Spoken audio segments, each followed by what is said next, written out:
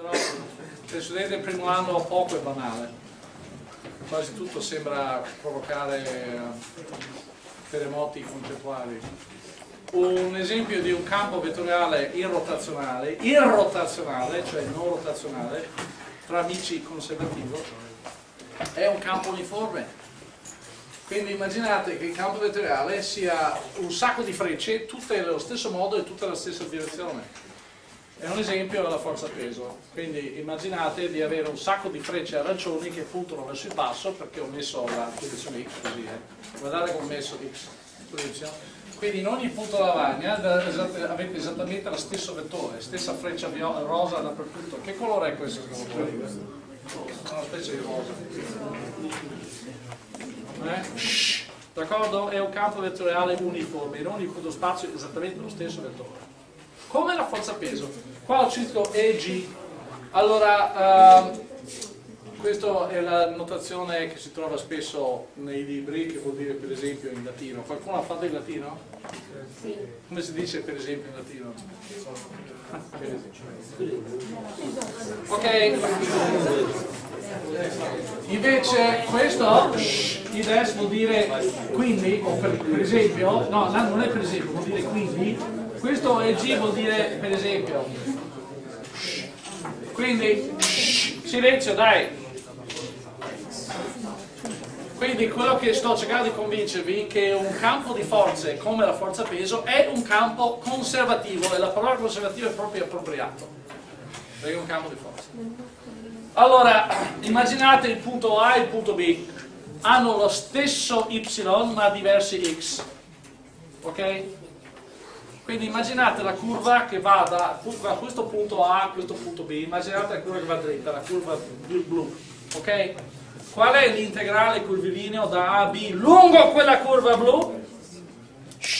La scrivete così, in ultima analisi è una sommatoria e dovreste, dovrebbe essere triviale, questo sì, convincervi che questo è uguale a V0 per xb meno xa perché per ognuno di questi spostamenti silenzio lo spostamento lungo la curva è un cambiamento solo di x perché la curva è nella direzione a y costante. Quindi ognuno dei delta R è ognuno dei delta R di questa curva. Se no lo do per ovvio e passo ad, passo ad altro. Se non è ovvio state zitti. Ognuno dei delta R che è qui la posso scrivere come un delta x nella direzione x. Per come è fatta la curva, eh? Questa è la curva che sto scegliendo io. Questa è la curva che sto scegliendo io. Eh? D'accordo? Quindi io faccio che la sommatoria della VI, cioè la I, la, il vettore dell'iesima tappa per delta RI, io posso scrivere così, come la sommatoria di V0 U di X, perché questo è il vettore dell'iesimo spostamento, mm? Perché il vettore è proprio questo, track. Poi lo spostamento iesimo, che lungo la curva blu è di questo tipo, è delta XI U di X lungo la curva blu è proprio quello lo spostamento. Quindi vedete che uh, ovviamente questo è, faccio i passaggi più prolissi prolissi perché prolissi, si, più prolissi così non si può.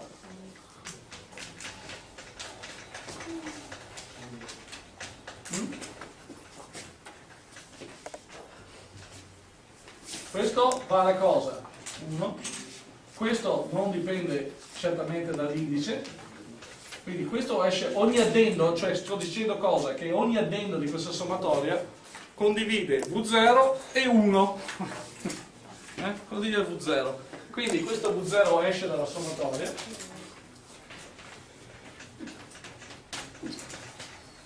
E la sommatoria delle delta x cos'è? È lo spostamento netto che, siete, che avete fatto nella direzione x intende, perché quella è la curva blu che stiamo scegliendo, dall'andare da A a B. E questo banalmente, trivialmente, come direbbe un matematico, direbbe che questo è V0 xb meno xa. E questo è lo spostamento dalla prima, da A alla prima tappa più lo spostamento dalla prima tappa al, dalla prima uh, tappa prima sosta forse è meglio dirlo perché la tappa forse più il corretto è è lo spostamento tra una sosta e un'altra. Quindi, questa è è la, lunghezza della iesima tappa. Okay? Quindi voi partite dalla, da A, andate alla prima sosta, poi dalla prima sosta alla seconda sosta, dalla seconda sosta alla terza sosta e fate questa somma di quanto vi siete spostati in ogni tappa e viene fuori questo qui. Pensateci, è banale. Questo è semplice. Cosa succede se cambio curva? Anzi, facciamo, facciamo una cosa più semplice prima di fare una curva complessa.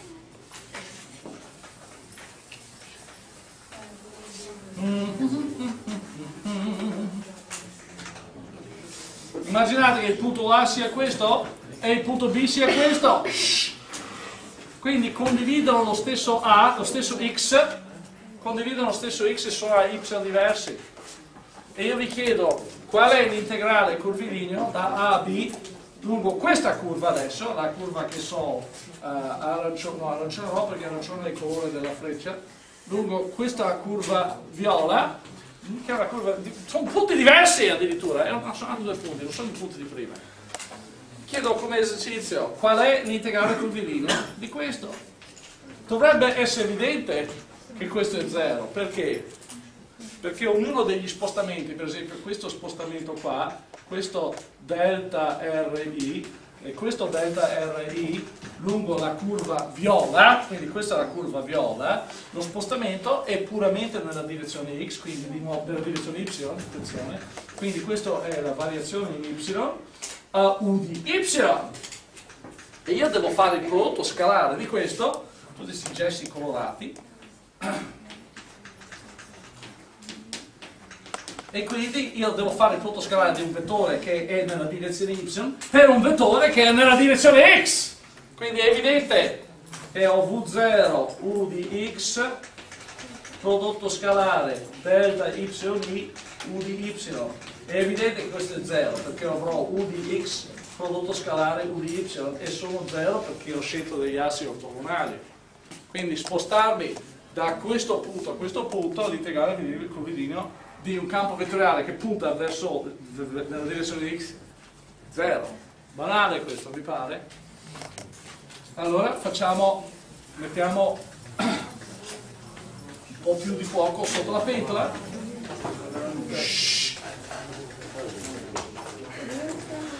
Questo punto qui a questo punto qui. A. B questo punto ha quota xb, xa, ya e yb. Shh.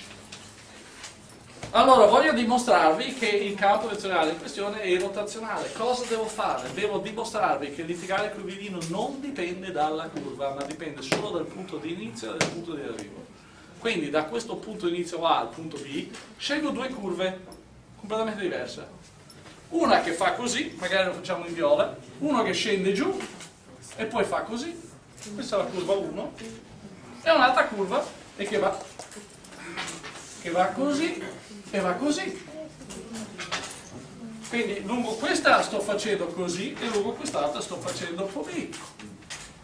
Ho perso il colore giusto? Questi colori. Ok? Sono due curve, una viola e una blu curva 1, curva 2. Dovrebbe essere evidente, spero, che danno esattamente lo stesso valore. Che valore è? Qual è l'integrale curvilineo secondo voi? Comune. Quanto è?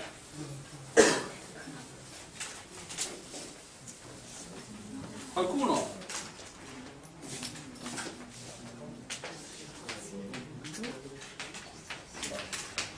E non scrivo più la curva perché è conservativo, qual è il valore comune? Convincetevi che il valore comune è V0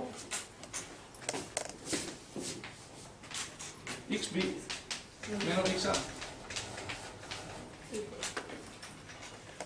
Perché andare da qua, chiamate questo che so il punto B asterisco, andare da, B, da A a B asterisco quant'è? È V0 xb asterisco meno xa. Poi andare da B asterisco a B cos'è? È zero!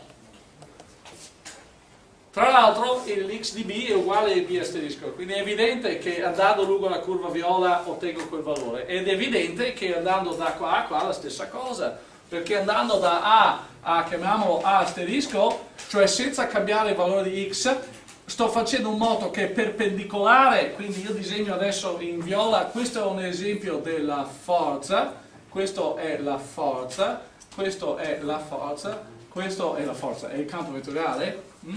quindi sono frecce gialle tutte verso il basso. È evidente che in questo tragitto qua ho la ortogonalità tra il vettore spostamento e il vettore eh, in questione, quindi lungo questo tragitto integrale curvilineo è 0, lungo questo è 0. Andare da qua a qua sono concordi, come anche qua. È evidente che il valore dell'andare da A asterisco a B è uguale al valore da A a B asterisco.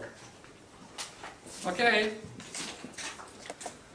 Quindi il campo uniforme, un campo vettoriale uniforme, è un esempio di campo irrotazionale cambio le parole e dico che la forza peso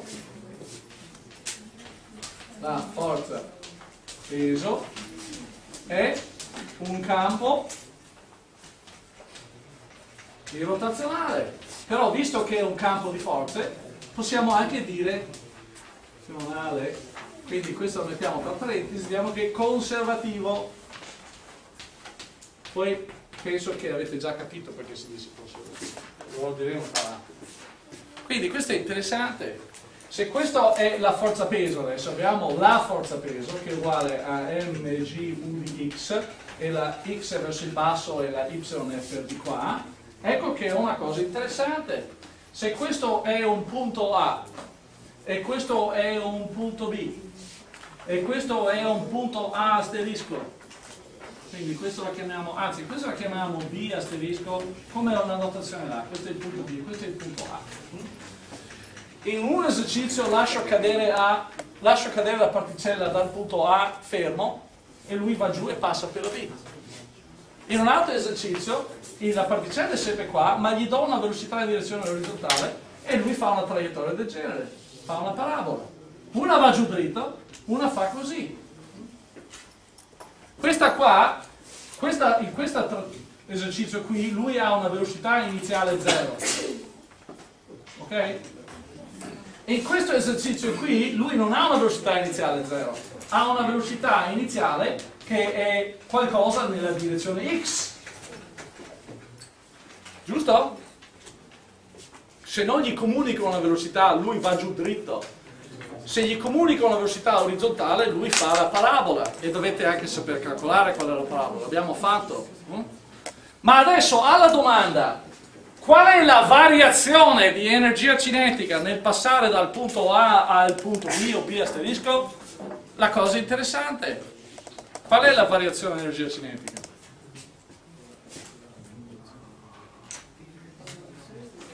Vedete qua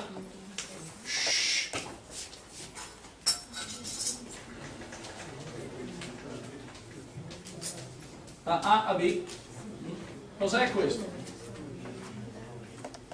Dai, usate la formula. È mg xb x2 meno x1.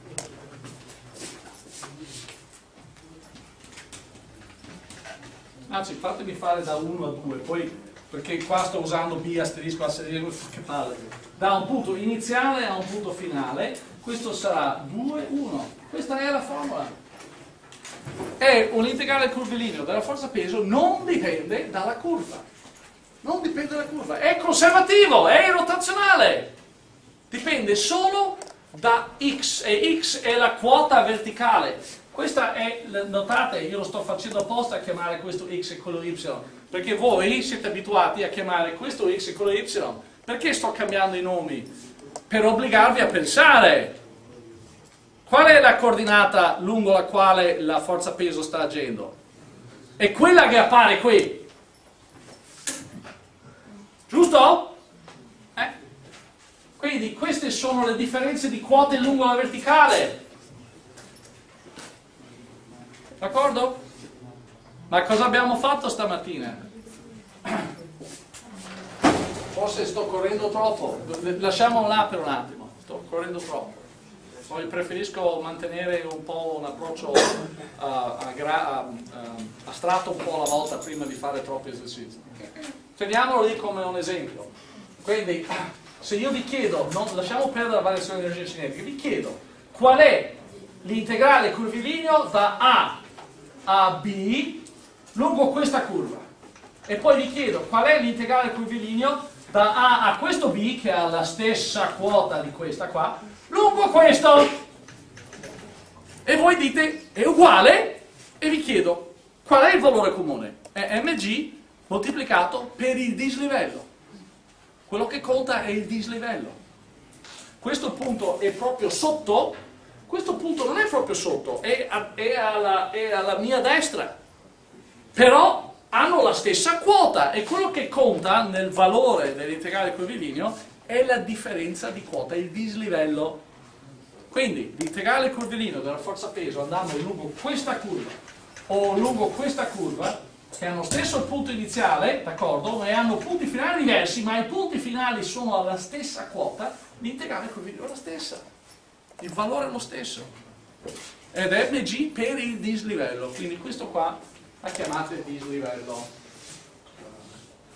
Dislivello. E teniamolo nel taschino lo tiriamo fuori dopo. Okay?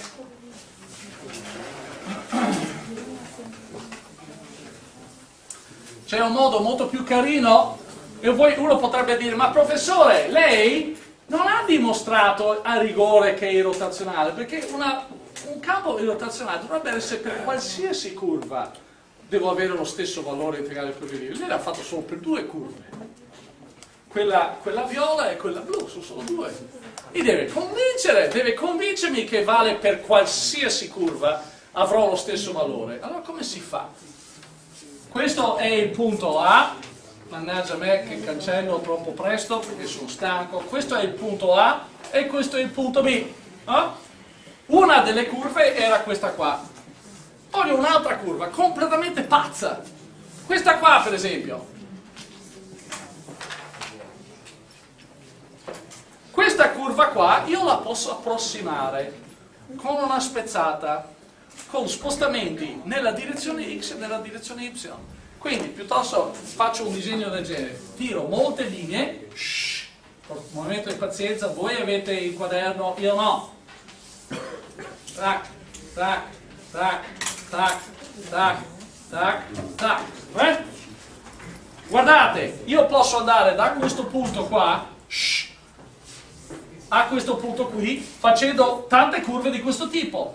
Andando uh, per esempio un po' così, poi così, poi così, poi così, poi magari fino a qua, poi qua, poi qua, poi qua, poi magari qui, qui, qui, qui, qui, qui, qui, mi sto rompendo i coglioni anche voi. Ah! lo metto un po' più in grassetto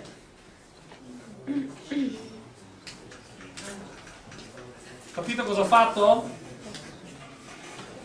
e questo è il punto finale e questo è il punto iniziale se la forza è sempre rivolta in questa direzione e ha sempre lo stesso modulo come è in questo esercizio è evidente che gli spostamenti in orizzontale orizzontale inteso nel senso di là danno sempre contributo nullo. Giusto? Gli unici che danno un contributo diverso da zero sono quelli nella direzione in cui va il campo vettoriale.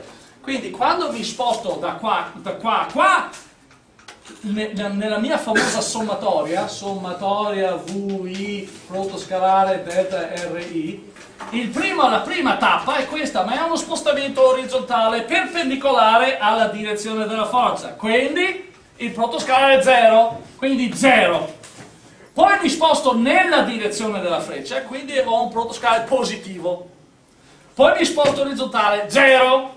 Mi sposto indietro, ma questo di cui mi sono spostato indietro è esattamente uguale di quanto mi ero spostato in avanti lì. Quindi questo e questo si cancellano, perché questo era positivo e quello negativo, quindi questo è uguale a quello, via. Si cancellano. Prese sicuramente sono diverse da 0, ma mi capite? Poi ho un valore negativo, salgo, perché sto salendo quando la freccia è verso il basso, punto scalare negativo, negativo è il valore. Poi mi sposto in orizzontale, comunque è 0. Poi mi sposto in avanti, Quindi questo è diverso da 0, negativo, questo è allo stesso valore assoluto, ma è segno positivo, quindi questi due si cancellano. Questo è 0, questo è diverso da 0. Questo è 0, questo è diverso da 0. Questo è 0, questo è diverso da 0. Quindi ho questo e questo e questo che sono positivi e stanno, sta aumentando la somma. Mi seguite finora? Poi ho 0, 0, 0. Poi ho un altro contributo positivo. 0, ops, 0, positivo, 0, positivo, 0, ah, questo qua e questo qua si compensano. Giusto? Questo è 0 e questo e questo si compensano. Allora quali sono quelli che non si sono compensati? E questo qui, questo qui, questo qui, questo qui e basta. Proprio il dislivello, traccate, che è la differenza tra la coordinata x di questo e la coordinata x di quello. Voilà, lo vedete? E allora qual è l'idea? Che se faccio una spezzata pazza, questa mi approssima a una curva che faceva una cosa del genere. Quindi una curva qualsiasi può essere pensata come una spezzata un po' di qua, un po' di qua, un po' di qua, un po' di qua, un po' di qua. No? Voi potete seguire una curva, curva, curva come volete, pazza come volete, potete seguirla con spostamenti orizzontali e verticali, con precisione arbitraria, perché basta che voi facciate una griglia più fitta, non vi pare?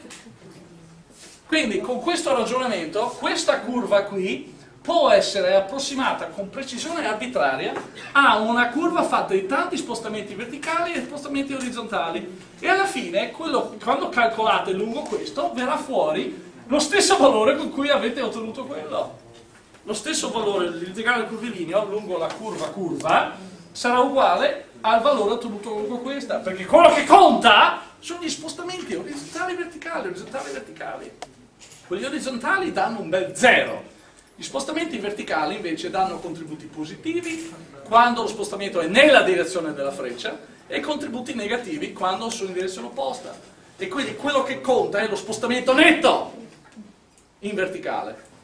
Quindi questa formula mi sta dicendo che quello che conta è lo spostamento netto, il dislivello. Non importa tutti gli spostamenti orizzontali o anche verticali o, o uh, uh, uh, in, gli orizzontali non danno nessun effetto comunque e gli spostamenti verticali in eccesso non entrano, il valore netto è quello che conta.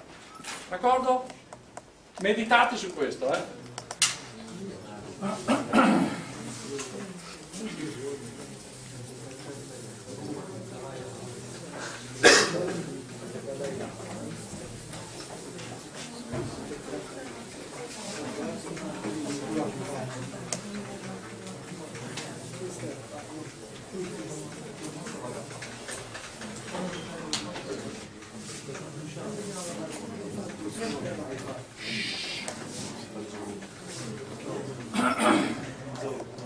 Allora,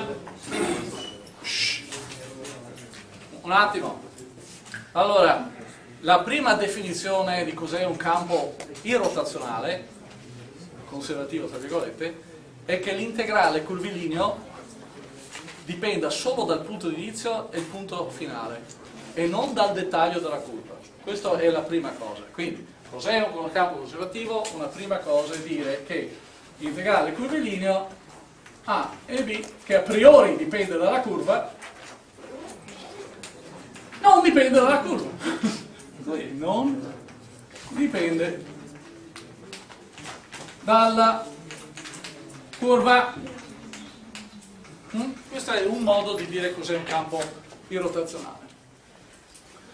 Uh, un altro modo, che voglio convincervi che sono equivalenti, è che un campo è conservativo conservativo, è irrotazionale, conservativo tra virgolette, se presa qualsiasi curva chiusa, devo tornare indietro a dire meglio questo. Cos'è un campo conservativo irrotazionale? Presi due punti qualsiasi, bisogna dire le cose per bene. Presi due punti qualsiasi, A e B. Presi due punti qualsiasi, A e B L'integrale curvilineo non dipende dalla curva che collega quei due punti. Ok? Quindi questo va corredato. Presi A e B qualsiasi, la parola qualsiasi è veramente importante, eh? non, occorre, non, basta che troviate due punti speciali che per caso l'integrale curvilineo non dipende da quello, deve essere presi qualsiasi punto. Molto importante la parola qualsiasi. Analogamente qua, disegnato una presa una curva chiusa, quindi un circuito, eh? circuito qualsiasi. Qualsiasi. Quindi se quella fuck.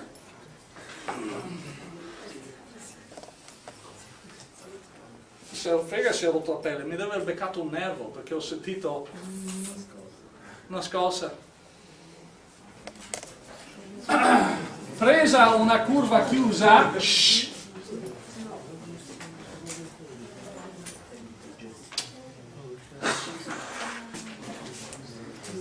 qual, qualsia, è giù scritto così, qualsiasi, sì. Eh? Attenzione, se questo è lo spazio, ecco una curva chiusa. Ecco un'altra. Ecco un'altra. Qualsiasi, in posti diversi dello spazio. Che l'integrale curvilineo lungo la curva qualsiasi, mm, chiusa, quindi che c'è il cerchietto,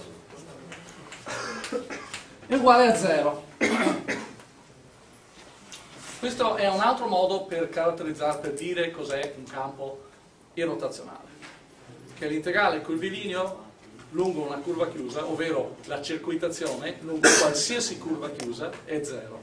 Queste due affermazioni sono equivalenti, sono due modi di dire cos'è un campo, un campo irrotazionale e vorrei convincervi, ok? Non è difficile, siete responsabili di tutto quello che io vi racconto in classe, poi le cose che non dimostro, magari lo posso chiedere, se uno lo sa gli do la lode, ma non è che lo punisco se non lo sa. Premio per chi sa le cose che magari non scendo in dettaglio. Allora, supponete la 1 e voglio dimostrare la 2, cioè io dimostrerò la loro equivalenza se data la 1 è vera la 2 e data la 2 è vera la 1. Cioè se dimostro che la 1 implica la 2 e la 2 implica la 1, allora sto dicendo che la 1 c'è una doppia implicazione, no? Sono equivalenti, sono la stessa cosa. Ok? Quindi prima supponiamo la 1 e dimostriamo, dimostriamo. Vi do un argomento e se, se vi convince bene, se non vi convince pensateci. Quindi supponiamo questo, prendete arbitrariamente due punti A e B. Ecco il punto A, ecco il punto B. Ok? Supponiamo che il campo vettoriale sia irrotazionale, quindi potete collegare questi due punti con una curva qualsiasi. Qualsiasi curva vi darà lo stesso integrale curvilineo. Questo è, forza, eh, è un campo irrotazionale questo si chiama integrale curvilineo, questo si chiama circuitazione. Quindi presi due punti A e B, immaginate una curva qualsiasi, eccola qua, C1 la chiamate, e state andando da A a B, perché vi volete fare l'integrale da A a B lungo la curva C1. E sapete che è irrotazionale il campo, quindi se scegliete un'altra curva, che colleghi A e B, per esempio questa qua, chiamiamola C2, sapete che avete esattamente lo stesso valore.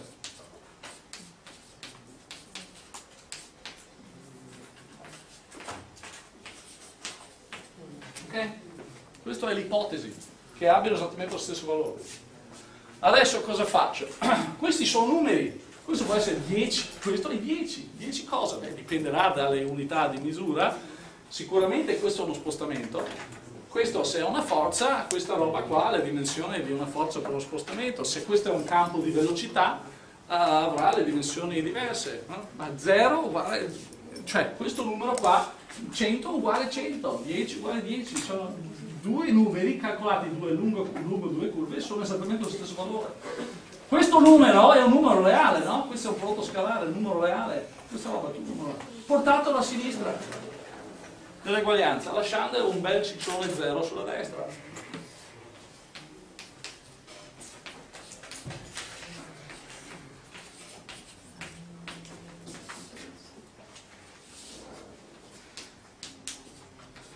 Ho messo la parentesi così vi aiuta a tenere a mente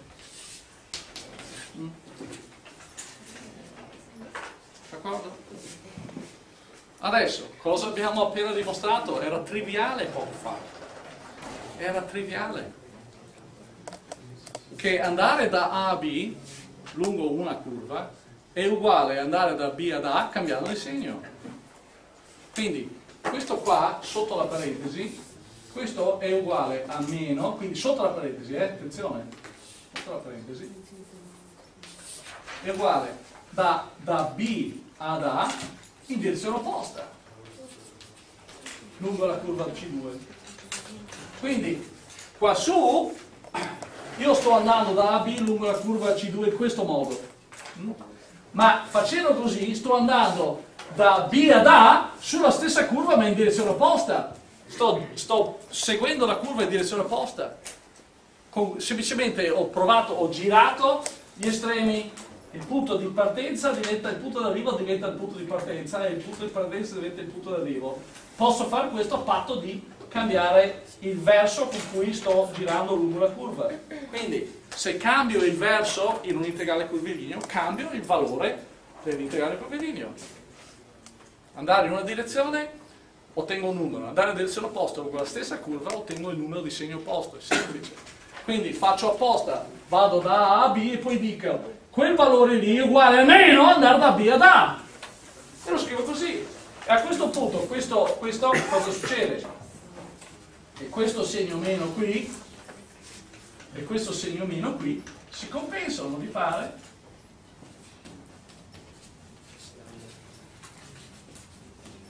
Quindi questo segno meno e questo segno meno si compensano, quindi ho l'integrale da A a B lungo la curva 1. Eh, risparmio di scrivermi sempre l'integrando V dalla scala, dai mi capite, no? Se io scrivo così possiamo risparmiare un po' di gesso?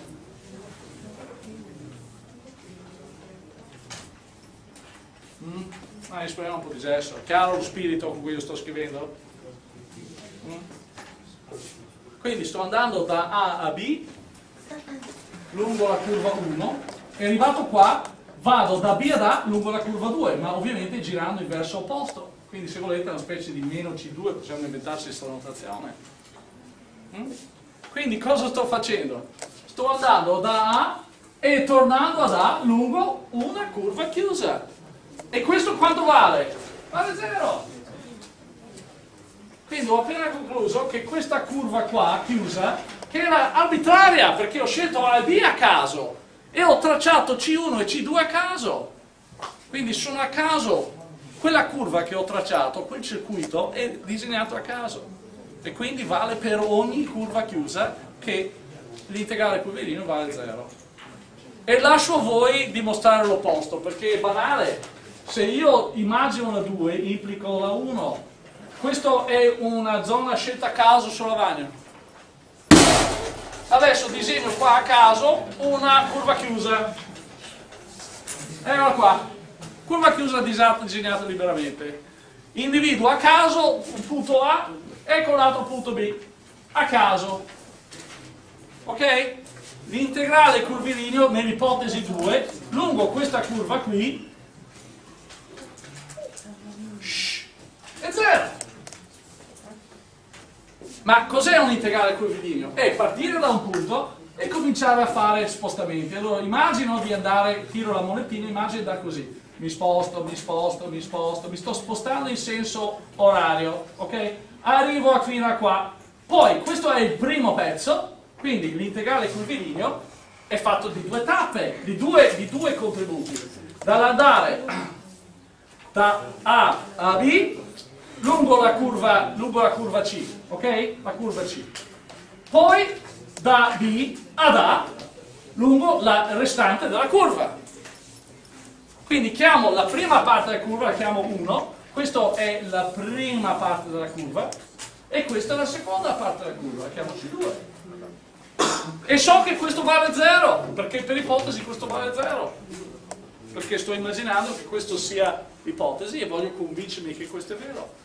E quindi cosa fate? Dite che, porto, scrivo qua, che l'integrale da A a B lungo la prima parte della curva, eccola qua, questa è la C1, e, che andava così, e questa è la restante che andava così, no? Ho la curva C che è fatto di due pezzi, la prima tratto C1 e il resto è C2, quindi da AB lungo la C1, uh, facciamo tutta la notazione, dai. Uh, porto per esempio questo al di là dello 0 quindi è meno l'integrale da B ad A lungo la parte 2 ok? vedete cosa ho fatto? sono andato troppo veloce?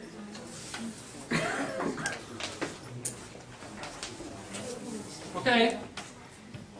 vado da A B lungo il tratto C1 arrivato a B rimango sul restante della curva originaria C che è stata chiamata C, C2 e sto andando in questo modo lungo la C2 e porto questo al di là dello 0 quindi questo faccio così. A questo punto invoco di nuovo il teorema, teoremino, la, la, il lemma, la cazzatina, la trivialità che tutti dovrebbero sapere che se inverto punto di partenza col punto di arrivo e introduco il segno ottengo la stessa cosa. Quindi questo qua, questo invece di girare lungo la C2 così da B ad A, inverto, questo diventa la A, questo diventa la B, a patto però di cambiare segno. Ed ecco che ho dimostrato che andare da A a B lungo questa curva è assolutamente uguale ad andare da A a B lungo questa curva. Quindi questo e questo sono equivalenti, la 1 implica la 2 e la 2 implica la 1, sono la stessa cosa. Va bene? C'è qualcuno che non ha capito? Alzi adesso la mano o mai più. Nessuno? Ah. Cioè, io non l'ho mai capito, faccio finta di capire. Mai. Potrei essere un bravo attore, no? Questo tutto di cazzate. Sto inventando di sana pianta un sacco di robe.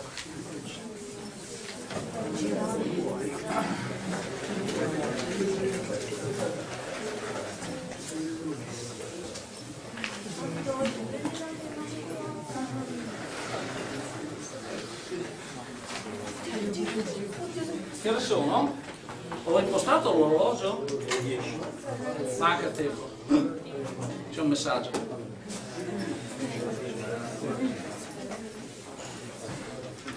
Adesso supponiamo, shh, supponiamo che il campo vettoriale, shh, che il campo vettoriale sia irrotazionale. Uno dei due è la stessa cosa, sono equivalenti questi due, ok? Io asserisco che c'è una terza, poi ci sarà anche una quarta, modi equivalenti di dire la stessa cosa. Allora, tanto per fissare le idee, Supponiamo che il campo vettoriale sia una, un campo di forze, così usiamo il linguaggio campo conservativo, ok? Shh, campo di forze. Allora io asserisco che un campo è conservativo se, come stamattina abbiamo visto, se esiste, se esiste un campo scalare tale che f è uguale a meno il gradiente di U. Questo è un altro modo, cioè in generale un campo vettoriale sarà irrotazionale se esiste un campo scalare, che adesso lo chiamiamo φ, tale che la nostra V, che è conservativa, può essere scritto come il gradiente di φ. I fisici amano mettere il segno meno, ai matematici non è importante, non è il segno meno che fa le cose. Eh? Mm? Questo è un altro modo.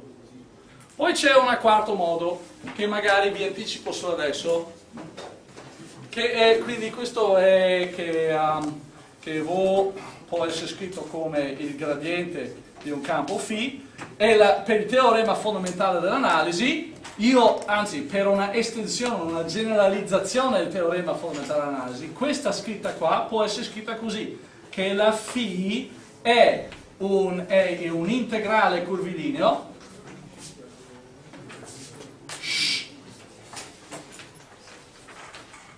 più una costante. e non ho bisogno di mettere la curva, anzi facciamo così. Scusatemi se cambio idea, ma perché sto cercando di dire qualcosa di semplice per i pochi minuti che rimangono dell'ora. Presi due punti, A e B, quindi A e B qua, che la φ del punto B meno la φ del punto A è uguale all'integrale curvilineo da A a B lungo una qualsiasi curva C. Cioè la condizione 3 può essere espressa in due modi. Se volete, questa potrebbe essere la condizione 3 e questa è una 3 asterisco che si dimostra essere equivalente. 10 minuti o è finita? Ok?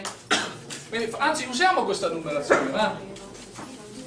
Che questa è, no, meglio così, questa è la 3 asterisco, quindi la 3 e la 3 asterisco sono, la, sono, due modi di dire la stessa cosa, questo è col linguaggio delle derivate, nello stesso spirito della lezione di stamattina, questo è col linguaggio delle derivate, questo è col linguaggio degli integrali. Però questo non è un integrale ordinario, è un integrale curvilineo. E poi c'è un quarto modo che magari vi dico dopo, quindi nel contesto delle forze, la 3 è questa, questa è la condizione 3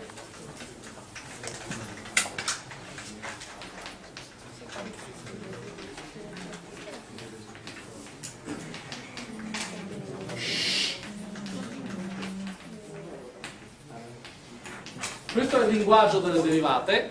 E nel linguaggio degli integrali presi due punti oppure facciamo così oppure presi due punti qualsiasi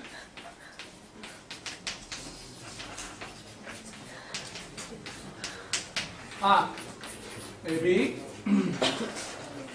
e l'integrale curvilineo da A a B di, di, una forza conservativa è uguale a UA meno UB perché i fisici introducono questo segno meno questo è una D'accordo? Questo è cosa succede se è un campo di forze e la matematica questo dobbiamo capirlo. Vi ho anticipato stamattina, eh? Nel caso unidimensionale avevamo che f era meno la derivata di u rispetto a x e qua avevamo che la u, per esempio la, la, la um, l'integrale di f pensata alla posizione di x dx da x1 a x2 era u del punto 1 meno u del punto 2 questa era la lezione di stamattina. Vedete che questa è una generalizzazione. Non è più un integrale ordinario ma un integrale curvilineo questo è lungo qualsiasi curva perché è conservativo. Quindi qualsiasi qualsiasi curva va bene facciamo una breve pausa che sono stanco e devo raccogliere le idee